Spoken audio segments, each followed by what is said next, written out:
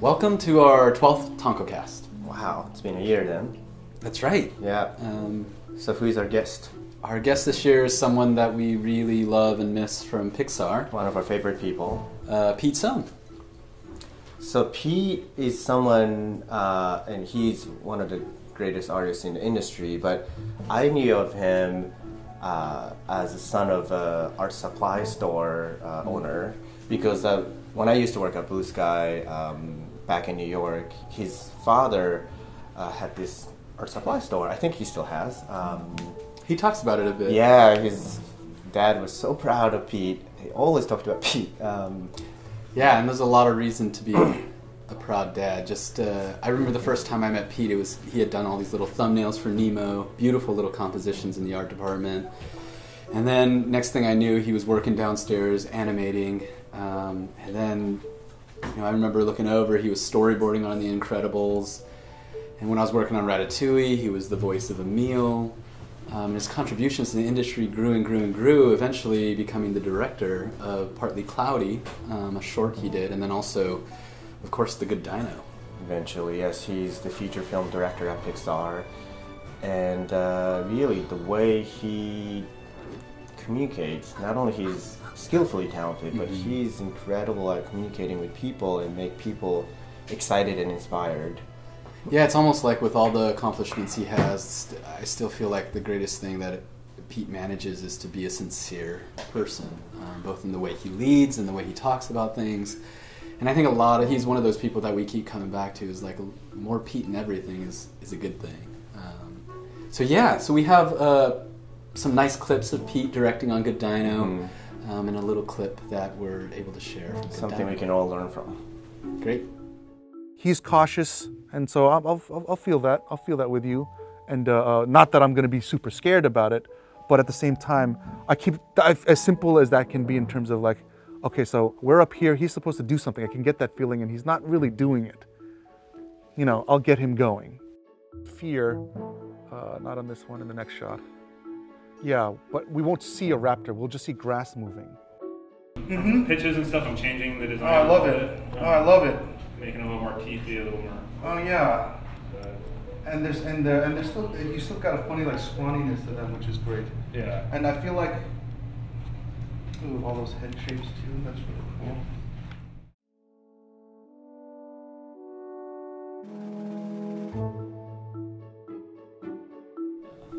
Dice, how's your family?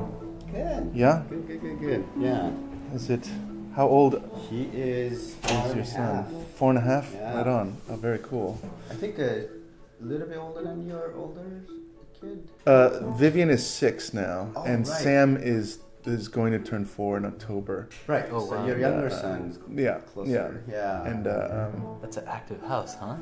Yeah, it's crazy. But like most of a lot of the people that we know that are, live around us, like Mark Andrews, we can't complain to them because they have like four kids. right. And so we've got two, and like That's Mark, this is so crazy with two. Like, cry me a river. I have four kids, you know. Yeah, you know, and so it's been it's been it's been great, you know, watching them become something.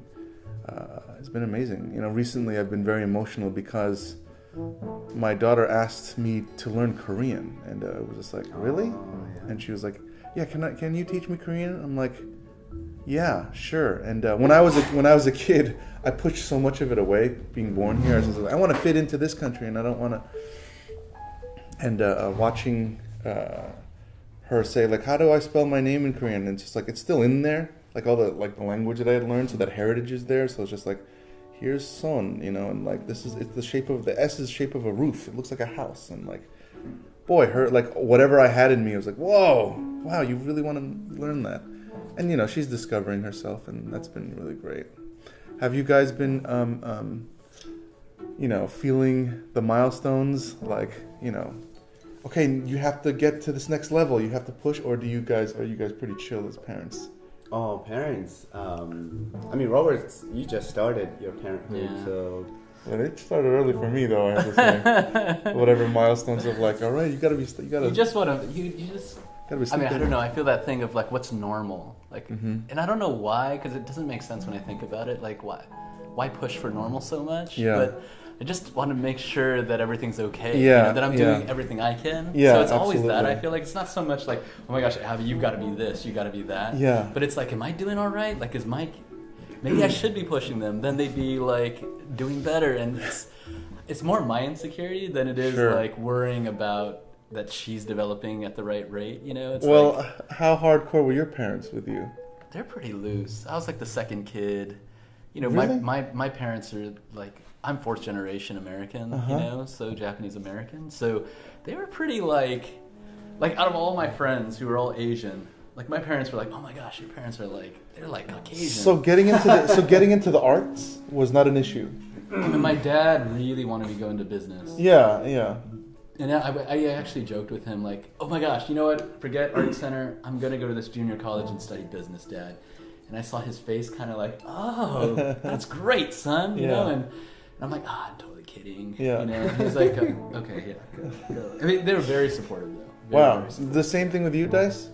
Yeah, my parents? family. I mean, you know, I grew up in Japan, Yeah. so uh, my, you know, I grew up with my mom. My mom raised me and my sister Yeah. alone, and uh, my mom is just, just incredibly liberal, forward-thinking person. Yeah. So she did not want me to go to. She didn't want want me or my sister to go to school in Japan after high school. Mm. She said you gotta get out of Japan and just really look at Japan from outside. You know. Yeah. Um, so like, she never wanted us to go towards anything that we don't want. Yeah. Very very. Um, she left us alone and almost too much because she was always busy because she was busy supporting us right like she she like raising two kids back in 80s in japan as a woman is Must really have been hard very difficult. Yeah. so uh, for her to uh, you know uh, to do that she had to work all the time like sh- she was not around But to work that hard, I feel like you guys are both so disciplined. Uh, doesn't is is that's a part of you then? Like even though she was liber- liberal and very easygoing, she must have created some sort of independent spirit in you that. yeah very independent like she she did she just didn't tell us what to do at all Wow. So I think it's part. I think we were kind of lonely when we were growing up a Yeah. little bit because uh, she wasn't around and she didn't really seem interested. Yeah. But but also she kind of left us alone to make our own decisions Huh, fascinating. Yeah. Well, it's just that my parents were so strict, in a very cliche kind of classic way, and uh, I rebelled very hard against that when I was, because they did not want me to go into the arts at all. Like the concept that your dad was just like, love for you to go to business. Maybe not, dad. And like, oh, well, that's fine. Boy, that was not going to be it. And I really had to fight to get out of New York to come out to California.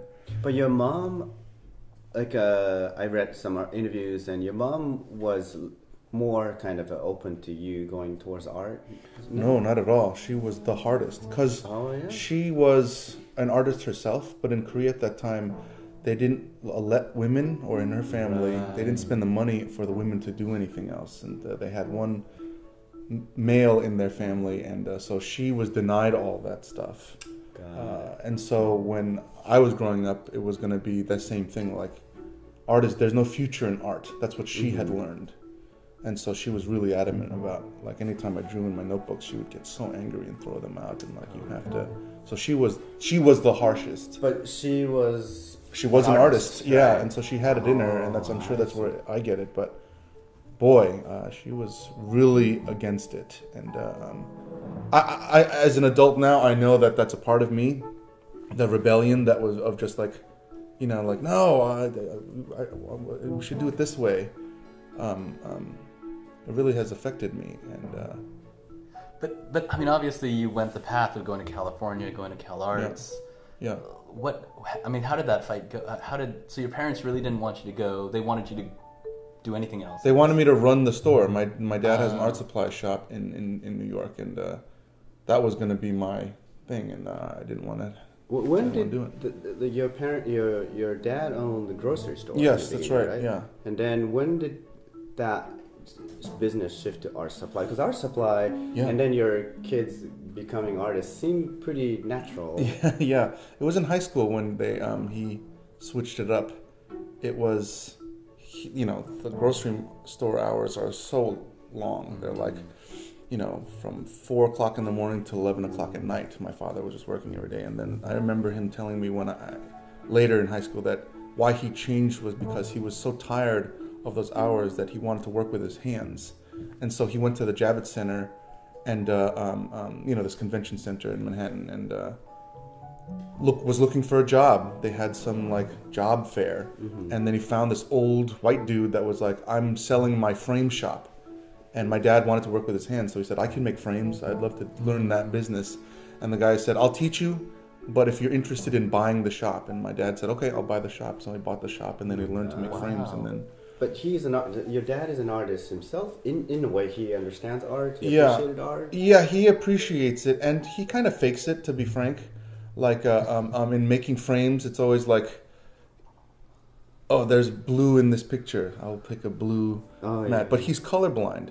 He doesn't, he, he doesn't see blue, or there's another color that he doesn't see. So he fakes it.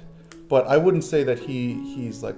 But he know, learned all that. Yeah. Yeah. You, you- by the way, he's one of the best framers. I, we, you know, we used to go. That's right. Sky, Oh, that's we right. Yeah, yeah, that's right. He- he's one of the best framers. He's, that's really Yeah. such a meticulous Yeah, job. yeah, And- right on. Yeah. But he's colorblind, man. What? Yeah, he's What? Yeah. What are the color suggestions? um, uh, but uh, uh, uh, he'd hate me for saying it. But you know, he's retired now. But at that time, it was literally I want to work with my hands and have a nine to five job. And, but and- they still switched. didn't want you to go for art. No, um, uh, uh, my father started supporting me earlier than my mother did. Um, Oh, um, really? my father started saying like if you want to do this you have to figure it out what do you need to do and uh, you know you start asking people like i need to take life drawing classes so i started doing that in the city at school of visual arts and uh, my father said you can do this but you're going to still take over the business. And then once i said once i got accepted to uh, cal, cal arts to go to california i was like that's my ticket out of here. And my mom's like you're not going to go. You're not leaving new york. You're going to stay by the family, and uh, um, it was a huge fight. I remember um, going to JFK. Uh, that you know, like I had my ticket to go to California. I'd never been to California before. I didn't even go to the school. I've never visited the school. It was just like all I know is that the school has an animation program that, that's connected to feature film.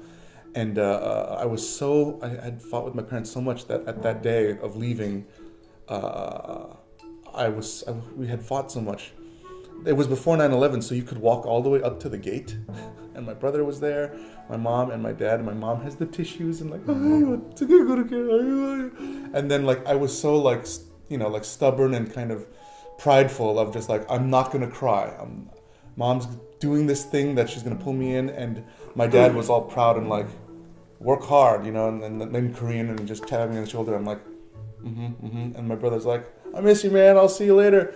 And then like i didn't say anything to my mom. I didn't say goodbye. I didn't say i love you. I didn't say anything.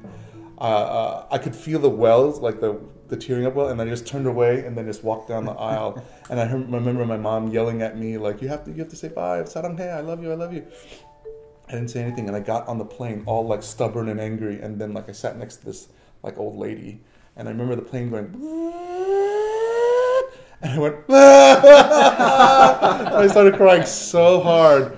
Well, I didn't know what I was doing, but it was all uh, it was like so much like rebellion and uh, you know exciting to like do something new and. Uh, you know, I was passionate about animation. I had I, uh, for so long in my of growing up in New York. It was it was you know the one thing that I had that was my own thing. You know, Is that Disney or what? What was growing up? What, uh, Akira was that first one that I remember watching a lot, and uh, you know I could still draw that motorcycle, and I could still.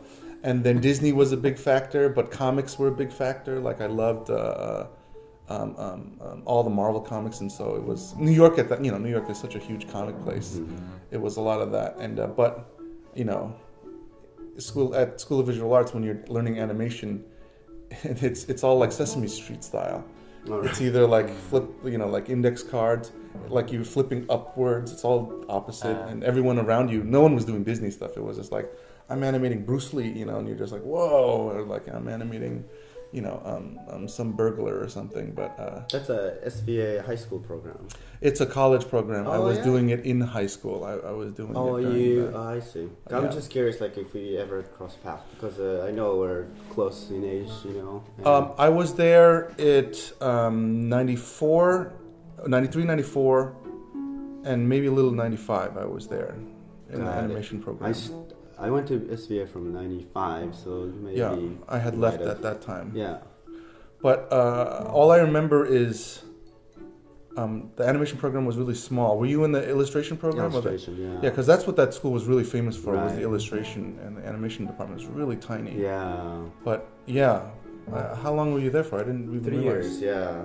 Graduated in '98, yeah. Did you know Enrico then as well?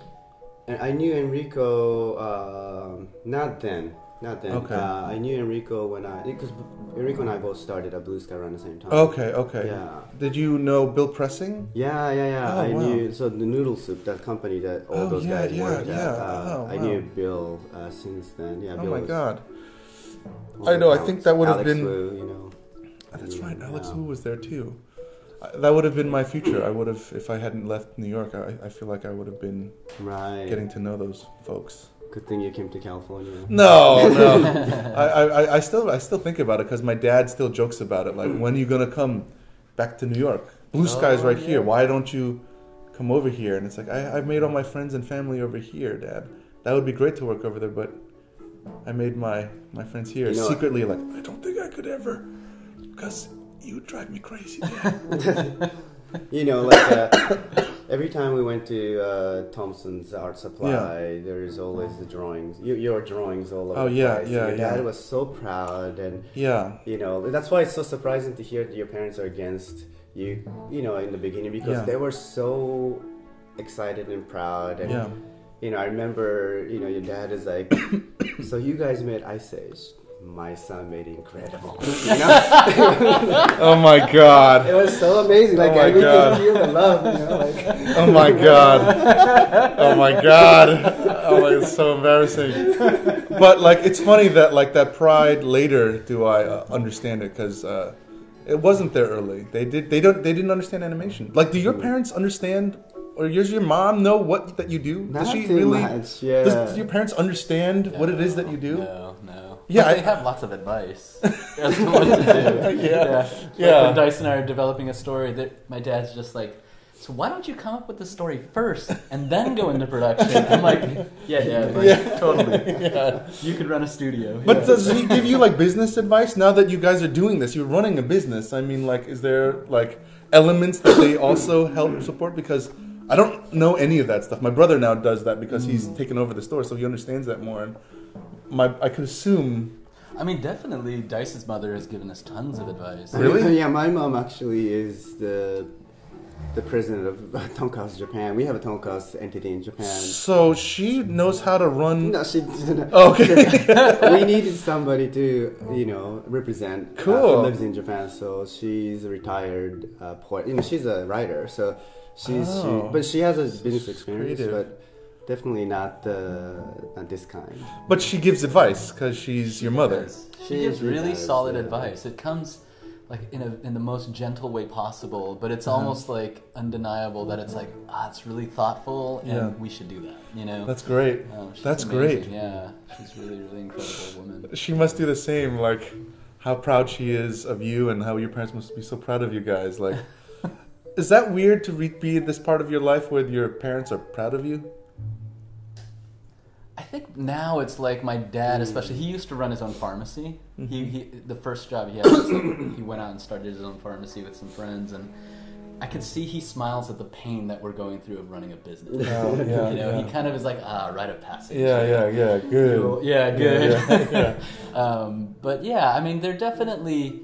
It's it's at that point now where it's like you know if I call him, it's mostly to vent now, and he's like, Yes. yes, just stop complaining. Yes. Pick up a pencil and do your thing. Oh, And it's yes. like, if that's what you need to hear, then yeah, go. But, That's yeah, great. That's great yeah, advice. Yeah, but yeah, it's a different part of our lives. I think now that we all have families and Yeah. stuff, they can see like.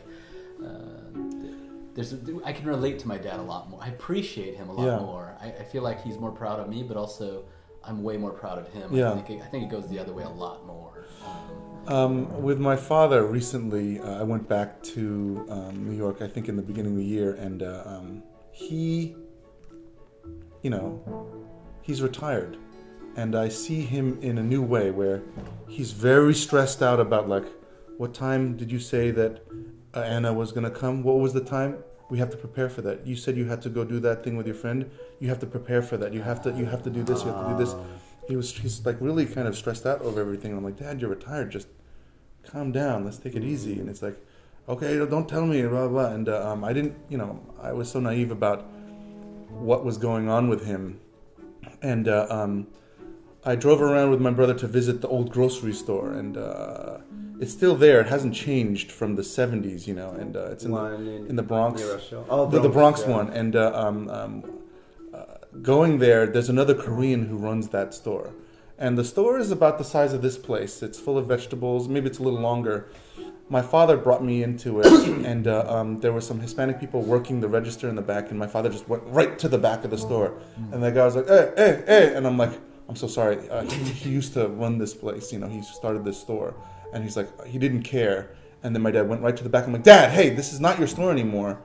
And my dad went right to the back and went to this dark closet, little hole, black, no lights, no chairs, no pillows, wooden floor. I mean, wooden walls, and it had like blood on it just because of the butchery, that kind of stuff. You know, the meat. There was an old Korean um, um, guy sleeping against the wall like this. You know, he must have been 70 years old, gray hair, and just like. And then like my dad was standing over it, and I'm like, Dad, don't bother. You know, and then. And the guy woke up and was like, oh, oh, oh, 그래, 안녕하세요. You know, like doing this whole thing. And my dad was just like, oh, 어때, 어때? You know, and like meaning like, how's the store going and everything? And then like he's like, uh, not so good and this kind of stuff. And the st- literally, I remember being in the store when I was a kid. Nothing has changed. The store, nothing has changed since the '70s. And uh, um, I, I was, I, I was, I was moved because my father built everything. He built that fridge, the meat locker, the door's still there. He built all the, the, the shelves for everything, the cashier box, everything he built in this store. And the guy didn't change a single thing in 30 plus years. And uh, um, I left the store and I was going, Phil, oh man, it hit me so hard. I, I, my brother Phil, who's running the art supply store, I'm just I call him all the time, and I'm just like, I was just with Dad at the old grocery store, and uh, it hasn't changed at all. He goes, I know, and I'm like, that there's been a Korean guy there that's been running it and it hasn't changed anything. And my brother goes like this, I know, that's me.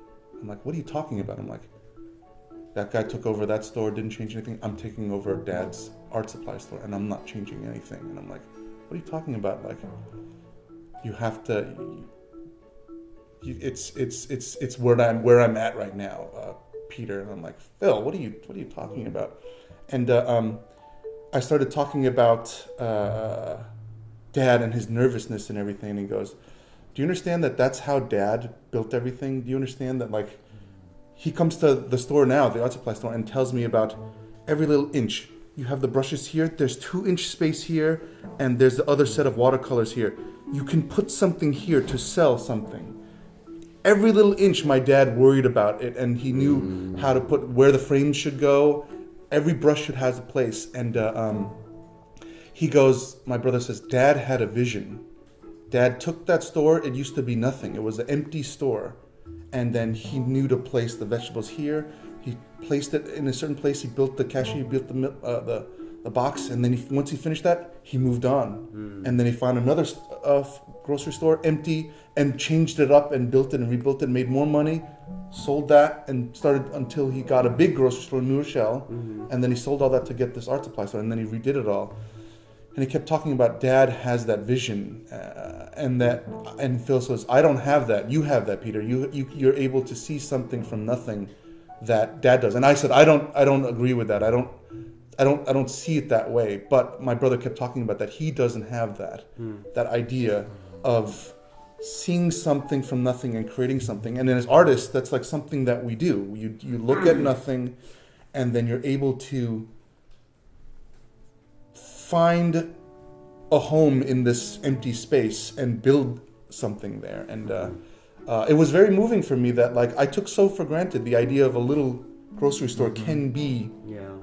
a film, can be a piece of art, can be something that someone has vision for, and uh, it was really powerful to see that my dad now, who's like 70 and like still still look reaching for that vision of making something better and like no no no this you have to make sure that you do it this way and uh, it's it's in the blood you know and uh, I believe in my brother too that he has it too. He just he understands that he didn't work for what he had you know meaning he didn't build that store from scratch that my father had and that he sees the um, the importance of that. And I, I see you guys the last time I was here with Mike I was so inspired by what you guys were doing because you guys are literally doing everything. You guys are literally building a home from scratch. You guys have a vision of what you guys want, and that is a really rare and special thing. And uh, I was so inspired by it. I kept telling everyone, like, man, I kept imagining like when you guys bring your kids here. Like, that's my that's what I did growing up.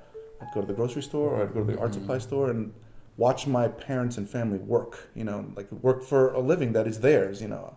Um, um, um, and seeing you guys do the same thing was I can't tell you how inspiring it was. It was like I understand it. I understand the the family business concept. I know this. I know. I know you know what I mean. Like this is something that you guys are putting together with your hearts, and uh, it's just nice that it's not four in the morning to eleven o'clock at night. but it was it was a big deal. It was it was really cool to um, see my dad and understand what that was, and you know, in my own life, trying to live up to those same kind of rigors. You know, I don't I don't know how much you guys seem like you guys are pretty perfectionists. Like you have a like when you see that the color is not right, that you will do everything that you can to make it right. And uh, um, um, it's a way of living that I didn't realize. I always thought I was just artists, but um, um, even a grocery store guy can live the same way. And uh, It's amazing. yeah, it's really cool. But now he's now he's chilling out, you know. And uh, um, do you guys think about that? Do you guys think about that? And I don't ever think about it about like retirement, but seeing my father go through it, boy, it is it is really made me, you know. Um, he always says work hard and play hard, and uh, you know how you know working hard at home at, at work and then at home. Have I been working hard at home as much as I can? I don't know if I have, uh, to be honest. I don't know if I have. And so I, these life lessons of like everything I have into the art, and then like going home and going everything I have into the kids. And uh, have I been doing that? I don't know about you guys. When you go, guys go home, can you shut off the work? Can you turn it off and just be present? I don't know. I don't know if I have been, and uh, I have tried very hard now as of late, and uh, um, I only have so much energy, and my work energy goes down when I bring up that home energy, and so trying to find that balance has been has been kind of crazy. And again, like like you were saying, like my wife has been doing so much of the heavy lifting uh, with with the, with the, with the kids, and uh, um, I don't know. It's I guess it's a good thing. It really fuels everything. It's one of the most challenging things I think about you know the field of work we're in. It's just that work-life balance. It's like you can't really do the work without. I mean, I feel like all of us probably get so much energy from Yeah. life outside of what we do, and they Yeah. kind of fuel each other. Yeah. Um, but it's such a hard balance to strike, and Yeah, I don't think, you know, like these devices we have. yeah, You know, it, for all the longest time, Jenny would just be like, "Put the phone down." Yeah, yeah. It's like you know, um, but it's such a hard thing. It's such an extension of our business and who we are. Yeah. Um, it's a hard thing. I don't. I mean, you direct just directed a film, and and you know that I imagine takes time. I mean, that's a Yeah, demanding job. I mean, Yeah. everybody's kind of counting on you. Yeah. You know, to kind of come up with the yeah, with the everything, you know, guide Yeah. us kind of through this war. And Yeah. um, I mean, how was how was that? I mean, It was it was the hardest thing I'd ever done for sure. It was very emotional, a process. It was um, my favorite thing is collaborating with all those folks that you guys know. You know, all the friends there. You know, uh, I keep thinking about it in these terms, and it's going to sound so philosophical and meta, but I swear to God, it was something that I really felt, and it was the idea of. I don't know if, you've, if either of you have played violin. I tried to take violin lessons as an adult, maybe three or four years ago, and uh, um, um, the violin has no frets. It's just a smooth board, and so when you're playing the violin, you have to find your notes. Meaning, when you find your note, you go, you have to find your C, and uh, um, it's hard to figure that out what C is. But the teacher was like, when you play C correctly, the other strings will vibrate, giving you something called a sympathetic vibration, meaning they know that it's C and it's striking a chord that they're also humming. And so when you play you can feel it, and you're like, okay, that's C. And uh, um, I felt that with a group of people. Like even as hard as it was, the fact that like everyone knew that our priority was to make the film as best we could, you know, and that to take care of this kid that was sick. Everyone was on the same board, on the same page, and there are meetings that I, and times that I could feel that buzz of everyone going to a, you know a very you know all all for a cause uh, when you're in this war, and um, it was very emotional for me to see that. It was it was a it was a dragon for me to chase of like oh my goodness I, I, I didn't know it could be like that i have felt it in other projects before on, on a smaller de- departmental level but when you're seeing it on a on an orchestra level it was quite moving i have to say and so so you're working hard to do that but to what you're talking about that balance of family i totally dropped off the, i dropped the ball on. I, I had not you know like I had two kids during the making of this thing, you know, from the early version of it, Vivian was born, and then the, and then at the end of that version, Sam was born, and then the the the the the, the, the Good Dino, the, the latest version of it,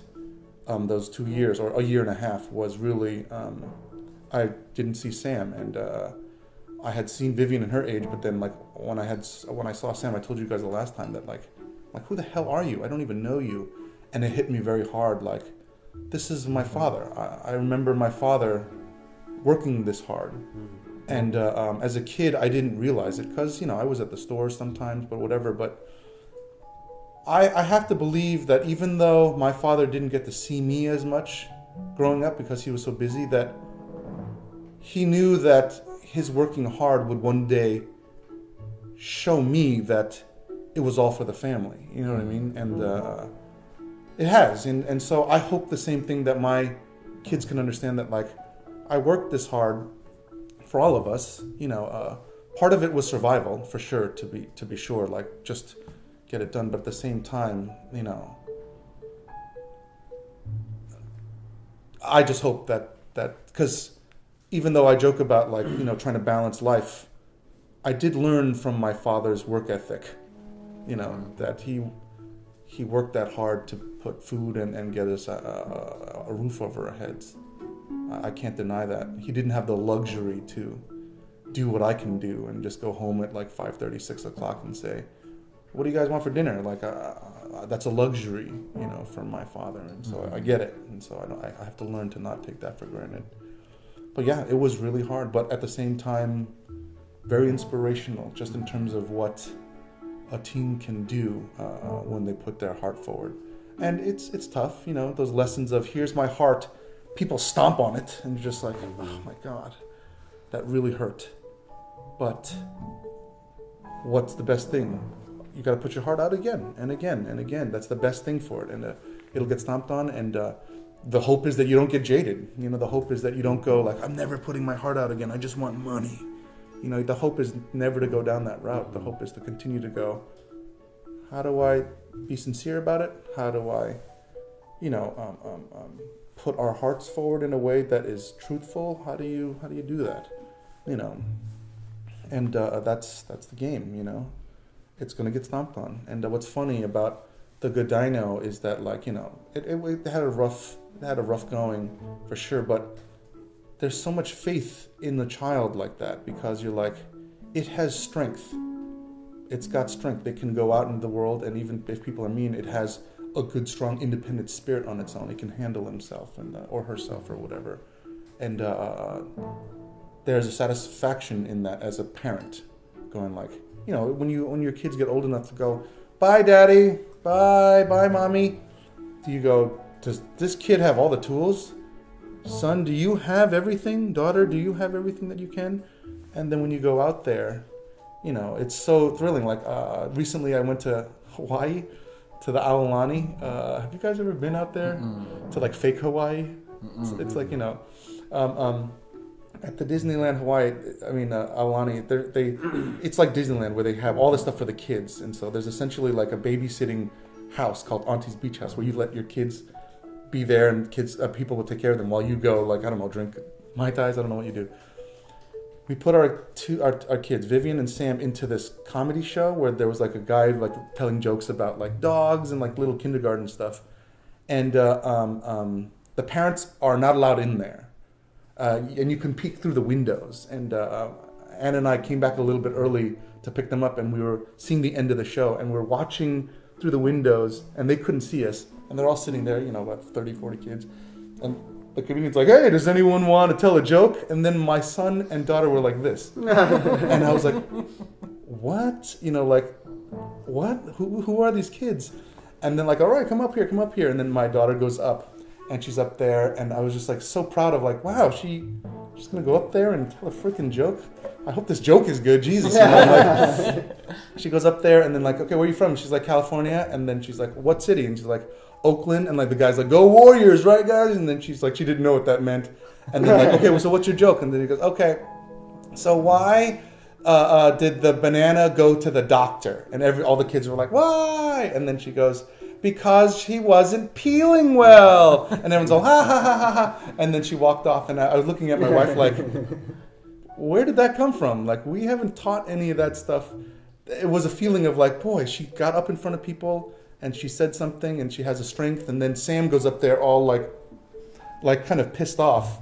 And we're like, what is Sam doing? And then, he, and then the guy's like, where are you, where are you from? And he's like, California. And then it's like, what city? California. And then everyone laughed at that. But I'm like, that wasn't a joke. He's totally, he's totally kind of pissed off for some reason. And then the guy's, okay, what's your joke? And the guy, and Sam, who's like, you know, three and a half, is just like, you know, what's a dog's favorite food? And then everyone's all, what? And he goes, dog food. And then like left. And then everyone's all, ha ha ha ha. And then, and then like we, like Ann and I were like so full of like pride, like pride that they couldn't be on their own. And there was, it's, it's, it's not exactly the same, but there was a similar feeling with a movie and a piece of art that you're putting out into the world where you're like, wow, you can go out there on your own and do this thing, you know. And uh, uh, it was so funny seeing Sam afterwards, like, Dad, I'm f- the funniest guy. And like, yeah, yeah, you're pretty funny, kid. And it's just like, Vivian, right? I'm the funniest, and like, yeah, the funniest. And she, she's just all like, and we're like, you know, you know what I'm you, like. There will be a time when you're gonna be like, okay, kid, walk. Like, I don't know if you have that threshold where your kid is allowed to only walk a certain distance from you before you have to go, hey, come back. Do you have that? Well, Well, your your kid is my so little young. doesn't walk yet. But I, I remember that vibe of like when they start they start first start to learn to walk. There's only like a, a five foot radius that you'll let them go Mm-hmm. to, and then as they like they get older and older, you get you can let them go down the street a little bit more on the sidewalk. But then now at, at six, Vivian is just like running down the sidewalk all the way around the block, and you're like. Yeah, that, that's okay. Nope, I can't. You know, like, like knowing that there's some tether, and it feels like the same way with art. Like, it's just with time you're able to just like let things go. And because I don't know about you guys, I was terrible in art school. I was very much like, I don't, I don't want to show anybody this garbage. Let's see what you got. No, I don't want to show it. You know, I was so embarrassed and so ashamed of work, and uh, it took me a long time to go. Hey, what do you guys think? And uh, feel like I'm the same as a parent. Like, hey, go out in the world. Not, not, you know, I'm not saying my kids are are pieces of art. I'm just saying that there's a, somehow there's some link to raising the kid and, and putting you know creative energy into them. Mm-hmm. It's hard to balance being precious versus kind of let, the trusting them. Yeah.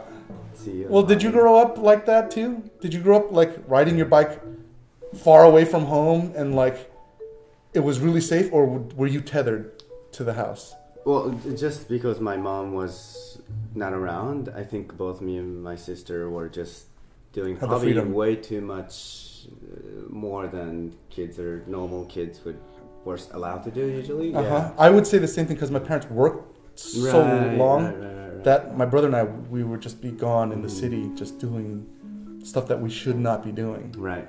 Now, would you? Now, did you have the same thing? No, actually, my, I was almost the opposite. My mom was, she was a fashion designer, but she oh. left doing her work to kind of watch me and my brother. So my mom was the mom that was always like the PTA mom. So when So she was there. she was always there. Oh, like Oh, when I was in class, she was always right there around in the hallway. Yeah. If I got in trouble, it means I had to pass her going to the principal's office. Yeah, yeah, I see. Wow. Yeah, my mom was in everything. wow. Always there. Always. So, and so my next question is, would you guys feel as parents that you would want them to be free like that, or would you want to be around them? Like so, for me, I was one of those kids who wanted to climb up on everything, Uh-huh. and I every friend's house I had to be on top of the rooftop. Oh and uh, the few times I almost lost my like I almost fell from the roof, and uh, one time I actually did fall, and uh, my, I hit my head onto concrete. Uh, Oh my god. and uh, I I bleeded from my ears, and you know it was like a really scary moment. Yeah, you know, I can my mom. imagine. You know, I'm, I really appreciate my mom. Still, always just kind of trusted me and just let me do whatever. I don't know if I could ever do that to my son. Like I, Yeah. I, I even get so scared of like my son just riding a bicycle. Yeah. alone. You know, that's Yeah. just so scary. I know, me too. Yeah. What is that? I don't know. Because I'm trying to shake it off. Because I want to have them have that mm-hmm. independent spirit that like my brother and I had, where we're just like there wasn't they weren't trying anything. They just there was no other option, you know, other than they're working. What do you want to do? Right. Well, let's go down there and see that drunk Puerto Rican dude. Like, all right, And then, like, go over there and uh, uh, you know, I want that for my kids, but there's no way I could do it. I, I feel so Yeah. overly like, Vivian, don't go that far. And I can hear myself saying, "Don't go that far," like, and wanting her to not have those boundaries. Like, I don't want her like drawing something and you go, "Vivian, don't go that far." Okay, you know, like, or writing something and living life, and I'm so scared of it. I don't know how to stop it. I'm, I'm so I don't feel like I'm that brave, and uh, where, you know, like maybe I need to find a new job where I have to work 11 to four o'clock in the morning or whatever, and then my kids are just up to what they. I know I'm the same, and uh, it's funny that you grew up the same way too, where you're free, and there's a benefit to it. Mhm. There is. There's absolutely a benefit to that. Mhm. Like, I don't know. I don't know. Maybe it's just media these days that that tricked me out.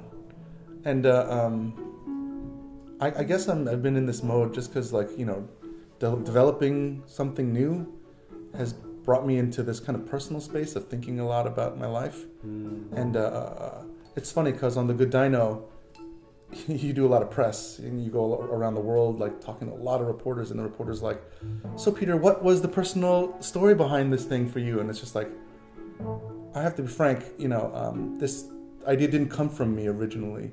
It came from another director, and I took over it. And there's a lot of personal ideas in the film that's from my life, but I can't tell you that the the beginning of this thing was you know, from a personal space. And uh, they would go, oh, okay. You know, and they would be like, oh, man, like, they just want that great Pete Docter story. Like, I was looking at my daughter and like, blah, blah, and I didn't, I didn't have it that way.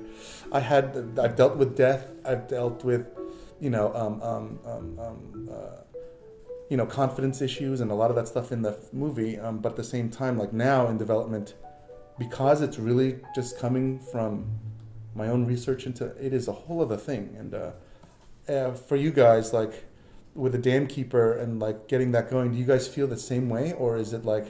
Because I feel like you guys have such a trust thing that like I don't I don't have in my life. I'm very envious of it, and uh, I have trust with my friends, but like the the idea that you guys can like focus on the different aspects of the soul of a, of a movie is amazing. But like you guys must do that. You guys must tap in because Robert, the last time you were talking about it was like Dice has this north star that kind of helps guide some of the emotions and, and, and, and where that needs to go. Is that is that a personal thing for you or is that what is it? I'm, I'm just curious because it's been so different for me now. And I don't know what it is. This all could, I might you know they might fire me tomorrow. I have no idea, but like it's just been interesting digging that way. hmm Do you, are you guys in that kind of realm, or has it been?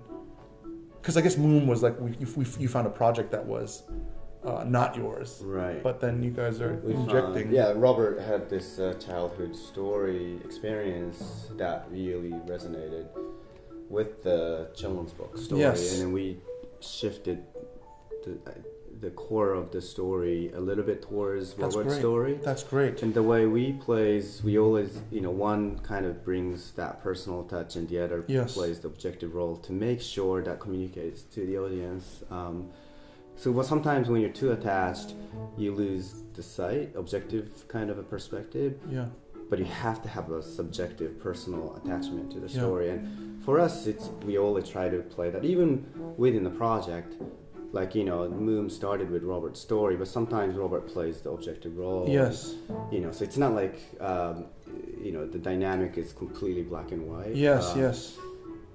right like i think that's kind of what we, we try to do and robert's really in particular i think really good at bringing in objective perspective or different perspectives Yes. just to test Yeah, know. and shake it up. Yeah. yeah um, Yeah, it's interesting. Like, uh, you know, we I, I do think we trust each other, but we also depend on each other. It's kind of like it's out of necessity Mm. more than anything. Like, in order for us to get to the place we want to, I think both as filmmakers and, and artists, I think we need each other Yes. now. And I don't know if it'll always be like that. I think we're pretty honest about there might be a point in time Yeah. where you know we might want to strike out and do our own thing. Yeah. And uh, but right now, I think both of us kind of feel like just so many great things come Yeah. out of the collaboration. Yeah. Um, and you know, and I and, and I, I, you know, we were talking a little bit about, you know, I feel generally that Dice is kind of this emotional north star of like, oh, we kind of want to get there Yeah. um, and and we kind of just you know both challenge but support each other to Yeah. kind of get there Yeah. and and it's one of those things that I feel like you know uh, looking at you know kind of a role as a director and, Yeah. and it's like you almost have to do that yourself right Yes. like kind of play both Yeah. sides and we've seen that in a lot of directors we admired of Yeah. like the ability to kind of do both and Yeah. I just feel like with us, I don't feel like either of us feel like we have the strength to do that by ourselves at this point. Fascinating. Uh huh. Um, yeah we're not quite there yet we're just starting out you know Yeah. and learning how to get the best uh, out of this kind of a collaboration Yes, yeah. um, yeah but yeah eventually like you know i think uh, miyazaki Hayao Yes. miyazaki is a, a director we look up to of Yes. course and Yeah. a lot of the pixar directors Yeah. and but i feel like some people like you like you know uh, pete like the, all the things we heard about you as a director on good dino you know everybody talked about how how you kind of openly kind of collaborated and, and trusted your crew Mhm. to help you Mhm. so it's not just you telling everybody everything but it's like you guided them so that they could actually guide you in Yeah. certain areas Absolutely. I think that's the type of director we want to be. Like, Mhm. n- I know not every director is like Yeah. that, but we really admire directors like that. I think uh, there are a few other directors we worked with at Pixar and Yeah. very much like that. Yeah. There are also like you know people like Miyazaki who Yeah. might have an answer to everything. Yes. That's incredible. Yeah. But I don't know if if we are like that. Yeah. Uh, you know, or if if we strive to be like that. Yeah. Um, I mean, one thing, Yeah. Pete, like I always really admired, even from before I met you, Yeah. really admired about looking at your work was you also kind of were not, you weren't limited by any of the kind of, you know, when kids graduate school now, they're, it's like always like, well, do you want to do environment design, character design, Yeah. animation? Yeah. Like, what ex- you have to know Yeah. and when I looked at your work, you had done, you know, design work, you had done storyboarding, Yeah. animation, and you weren't really limited. Like your voice wasn't limited by these kind of departmental barriers that are put up. And uh, you kind of came from Warner Brothers, Mm-hmm. and you know, intern at Warner Brothers came to Pixar. Uh, that's something as like a director. I'm curious, like.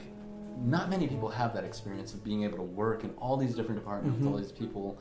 How did that how did that happen for you? I mean, not that it happened for you. I know, I know that's something that you know you worked very hard for. But what was that experience like? Kind of working these different departments, eventually becoming kind of director, and Yeah.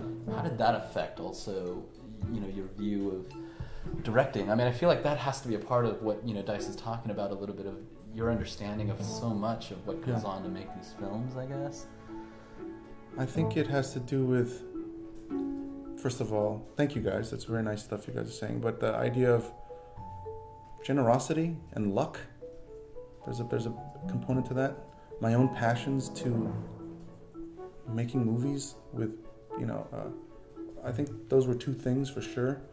Um, um, getting my first job at Warner's was just because we were hungry, and um, Brad Bird and Tony Fucile could see that, and uh, he he saw something that he liked in the portfolio, but enough that we were like hungry to do the work and uh, um, and about learning. That's what I remember Brad saying that like you're you're you, you know you're you're ner- you're you you're always learning zone you know like the film love keep that going and uh, um, um, that has kind of helped me a lot in terms of why I'm doing something. So when I got to Pixar, um, in the art because I applied for animation and I didn't get into animation, and uh, I went back to LA, and it was like several months before I got a, a, a call from Ralph Eggleston saying, "Hey, we saw your portfolio. Come and interview up here. Would, would you mind doing artwork?" And I was like, "Sure." I wasn't doing anything at the time. I was like, "I'll do anything," you know. And uh, um, going up there, Ralph again that generosity and luck for me that he even saw the portfolio gave me that chance. That wasn't me. That was literally that portfolio got slipped out of the animation and then got into the art department. And then Ralph asked me to do scuba designs and help out with the, the fish tank stuff. And uh, but as I was doing the fish tank, it was literally the same love and passion for movies that whatever I was designing, I tried to design in a filmic way, doing like essentially boards. If I had the tank, what props would I need in the tank to make it feel like a prison or feel like something? And uh, Andrew saw that, and again, his generosity and the luck of him going like, "Hey, we could use you in story." I wasn't like, "Hey, I want to do story." I had never done story before, but he saw that stuff and was like, "Hey, go into story." And so, the, doing those two jobs on that show um, um, gave me a lot of experience. But uh, uh, I, you know, Brad also knew that I had worked with him before and wanted me to come on there, and so again, it was Fucile saying hey, why don't you just come over? Generosity, just come over and we're designing characters, just come and have fun with us. And so just literally like us sitting at a table, just drawing stuff. And then that became design work. And then we, they, I got in the art department that way. But then once story started kicking in, Mark had Mark Andrews, who was my story teacher at CalArts, saw that I had been doing boards on Nemo and was like, hey, well, we need the help. And so all these things were generosity, but at the same time they knew that I was very passionate of it about it, and that that got me into these things and then into animation. I had told them like, Brad, it's been so fun to go into art and then into um, story. I'd love to animate on the show, and he's like, yeah, you know, like, uh, uh, you know, you're hungry, you know, talk to Fucile, and then like, start that way, and then I was, you know, and it was really through people's generosity in that way, and uh, that taught me a lot too in directing like that same generosity of like you know like hey uh, it feels like you you're talking about something that you're passionate about of an idea. Hey do you mind talking to this person and getting that going you know and so that that has that has been a big part of uh, uh, that fun of going through different departments at the same time in every department that i was in i did not care about my title I did not give a shit about that. I did not care about the long hours that I'd work. I wouldn't charge, and that's not a smart thing to do. But at that time, I didn't care. All I cared about was whatever I can do to make the film better. And uh, I don't care if you're just a sketch artist, or if you're a supervisor, or if. And uh, um, um, Andrew was like that, and Brad was like that as directors. As my first experiences, that they didn't care. Whatever idea to make the film better was their priority. At Warner Brothers, on, on, on other work that I had done there. You know, uh, um, on, on, on I, I remember the feeling that people just cared about their job titles. I'm a supervisor, so I have to be a supervisor, meaning I have to tell you what to do, versus growing people and saying, okay, this person is really uh, uh, helping the movie out. Okay, get this person. This person's helping the movie out. They don't. It's not about that anymore. It's just about making the the, the film, and um, that really ha- had a huge impact on me throughout the years, uh, and and being able to jump from process to process. The other thing too was seeing how all the departments worked was fascinating too. And it was only the art side, I, mean the creative side. I didn't see how the technical side worked. but how art was a small family always. Story always felt like it was a, a, a, um, a little group of Navy SEALs. That each story artist was very specialized in. I'm a demolitions guy. I'm the sniper, and then in the in animation, it was a group uh, army that was all with one voice. The family of art, the small specific tools of story, and then the massive voice of animation was interesting to see how each dynamic worked. Uh, and that helped me out a lot in working with the technical departments because, you know, they were very similar. You know, um, there was groups that felt very familiar, like where they would work together in family clusters and then go off and create something and all talk about it, like art. In story, it was just like, we need a comedy scene. You go do that. Yes, sir. You know, and then like come back with a comedy thing, and then there was a much more independent spirit, even though they can gather at the same time. But then animation is just like, we need to move this whole mountain over, and uh, they knew how to communicate with each other, and uh, that that that showed me a lot. Um, um, seeing how the directors worked in voicing, I did a lot of scratch stuff. Seeing how the directors gave direction to me as a scratch artist, having worked with doing scratch for a lot of these films, taught me a lot about people's priorities and how they got um, um, the best out of you. And uh, everyone was different. Every director is different, and they all have amazing ways and tools to get a performance out. And uh, um, that helped me a lot in the same way with working with everyone. Uh, I remember telling you guys about Ponyo and doing this the voice stuff for uh, getting the the, uh, the English dubs for from these kids. And uh, boy it is all about trust you know like you really learn that these little kids are like in a big room and it's they've never acted before and there's all this pressure of people like typing stuff and like okay next and then like next one and so you could feel the energy and you're like hey you know your my goal is like I don't care how much time we're spending I'm going to create a space that I want you to be comfortable and we're just going to play with each other and trust each other about this okay? Because we have we have several weeks of this and uh, um, it's not going to work if this person starts to like tighten up and get nervous.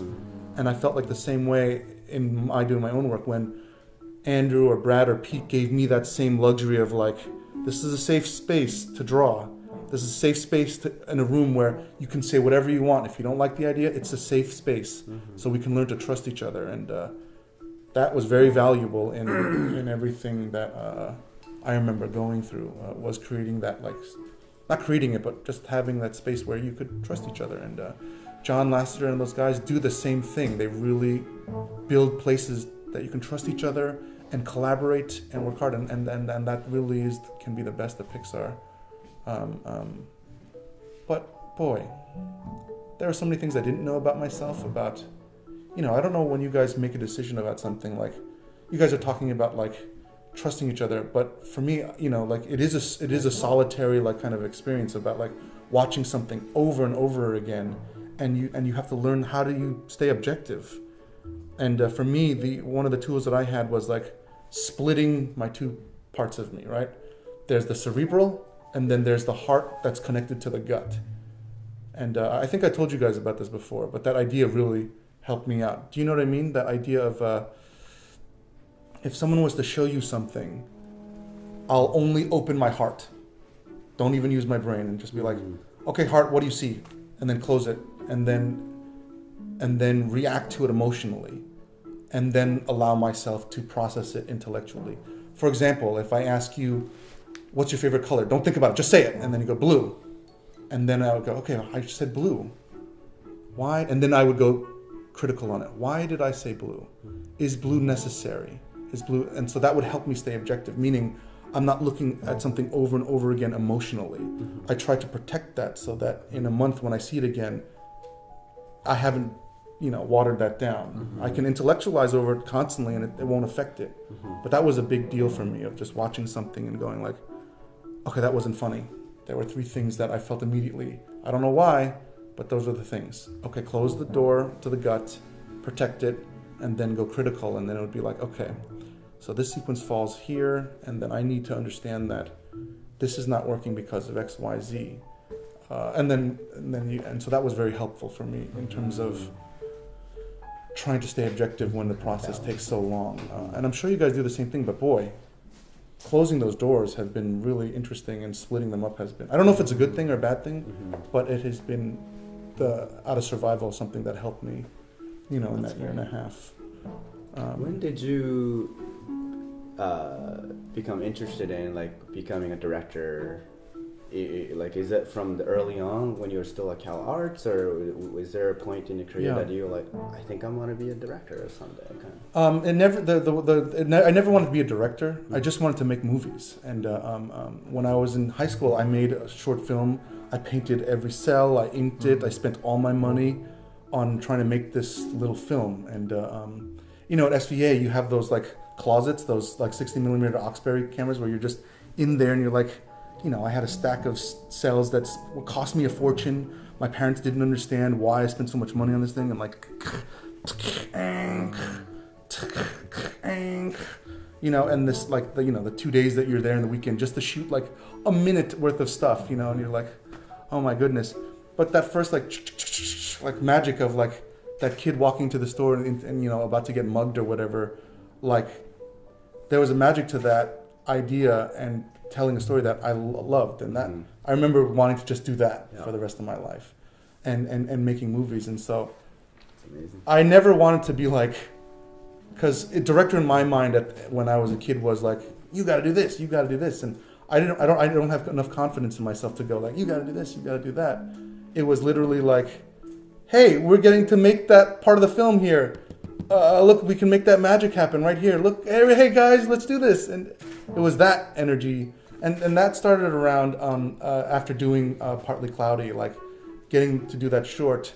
The magic of bringing that around uh, was just like, boy, this is so fun telling stories like this and uh, putting out in the world. And I'm sure you guys had the same thing with Dam Keeper on a whole other level, you know. Uh, but that that really triggered, you know, uh, the idea of like learning more about how to tell Mm-hmm. bigger stories or like different stories and uh, um, you know because after that it was co-directorship on on on band with bob and uh, i was so happy to just be like being a part of making something Mhm. like you know like and bob knew me knows me well enough to that. I don't care about co-directing or like the title of it. It's just like he just wanted me involved to help him out. Mm-hmm. and uh, it was an honor. And it was just like yeah let's do it. And uh, so it's the same thing in going forward is just like now that you know uh, whatever's next in the future it's just the idea of like that same magic of like oh man wouldn't that be cool Mhm. in, in, in, in a movie?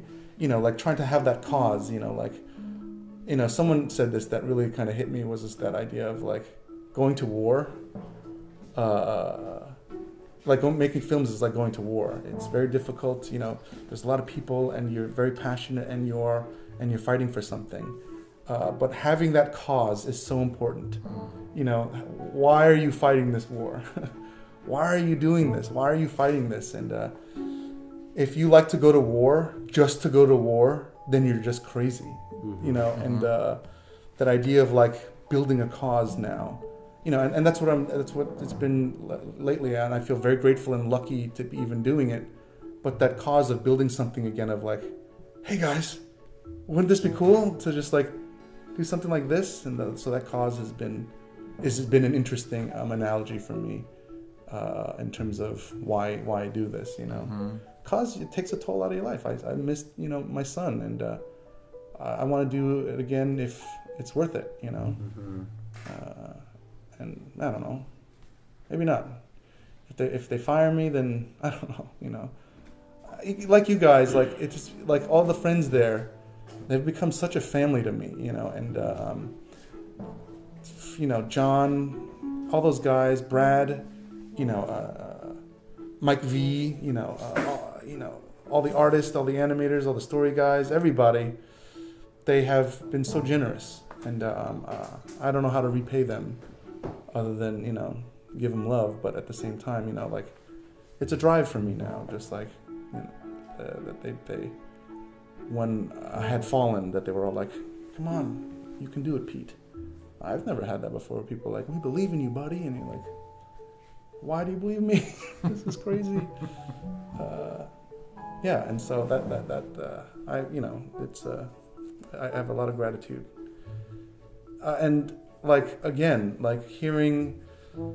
Last time I was here, I can't tell you how inspired I was talking to Mike. I, I was talking my ear, Mike's ear off. And what's funny is that when we left you guys, we drove around the block and there was Alex Woo Yeah, yeah, yeah. eating at this Yeah. cafeteria Oh yeah, he was or at- the cafe. Uh, Yeah. Yeah. And he was just like in the window, like drawing, writing or drawing something.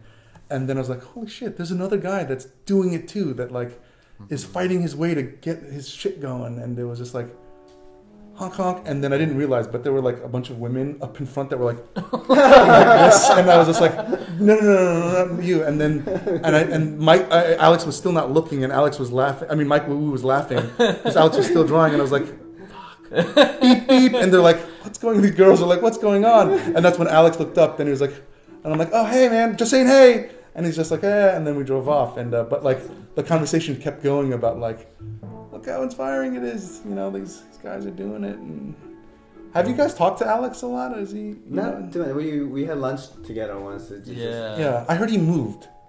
Did he move out of that building, or is he still there? He, they moved from a, another floor to another floor. Okay, Yeah. okay. Oh, that's So what it they was. got a bigger space. Okay. Yeah. yeah.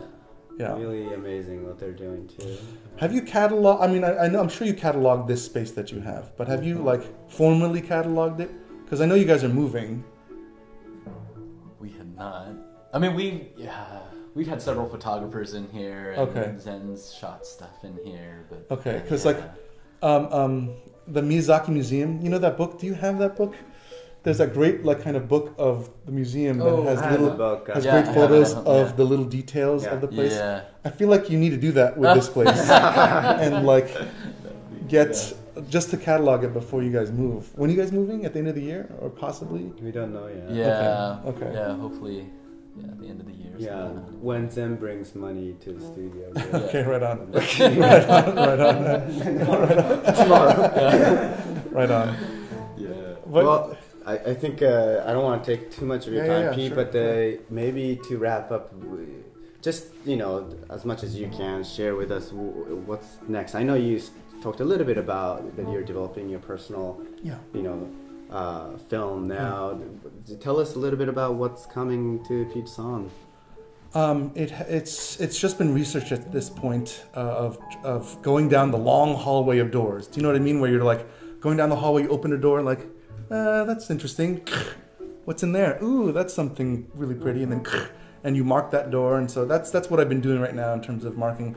You know, again, I feel very lucky that uh, Pixar is you know like giving me the chance to start researching and developing something. Uh, but I also know that like who knows what's going to happen to these ideas. You know, like you spread a lot of seeds, and then hopefully one of them will start to grow. But at this point, it's so early. I'm just excited that I'm even I'm even getting to like stand in the garden at this point. You know that I have fresh soil. I'm like, oh wow, okay, and so that's really exciting. I'm also helping with the story interns this this summer, and so it's been eight students, and they've been really great, and they've been really inspiring for me, just because you know seeing them also learn the story process reinvigorates me again. And uh, uh, Mark Andrews and I have been Mark. It's Mark's program, but he's uh, he wanted me to help out, and uh, it's just been the two of us with these with this gang of really really inspiring people. And then I've been helping other shows here and there along the way. But yeah, it's it's been really chill. You know, um, I've been get, getting to go home a little bit uh, earlier sometimes to just hang out with the family. Um, but yeah, and uh, I look forward to the future. I'm such a nostalgic person, you know, of like looking back and seeing things out. It's it's been really nice to just think about the future and what that is, you know. hmm Yeah, that's, that's where I'm at. awesome. I know. I can't wait to get something concrete. You know, it's it's just like a lot of swimming right now. I'm like, here's an island. Oh boy, you know, and uh, trying to. The world is waiting for, for your next film. Yeah, I appreciate Yeah. that. Uh, Super exciting. uh, yeah. uh, that'd be awesome. Well, thank you so much, Pete. Yeah, of for course. Sharing your amazing. No, sure. Thank you Stories. guys. Spend in the morning Yeah. with us. Yeah. I know your time's super. You're making stuff, so your time is very, very important, and we really appreciate you coming Yeah. out. Thank you. I know your guys' time is very important. I would say my time at this point is not that important, but uh, uh, again, you guys are a source of inspiration for me. Honest to God, you have no idea. Like, uh, like seriously, I'll be I'll be leaving this place thinking about it again. Like, man, you know. and I think about my dad. I'm sure, and like what a place like this can be. It's really cool. Get that, get that book. Make the photograph. yeah. yeah. Thanks, Pete. Yeah, yeah, of course.